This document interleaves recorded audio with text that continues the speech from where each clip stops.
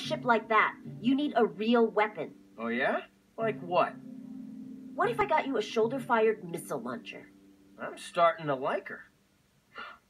Where are you going to get a shoulder fired missile launcher? Shredder, of course. Uh, we're talking about the same shredder, right? Big dude, lots of blades, really hates us. Yeah, something tells me he's not.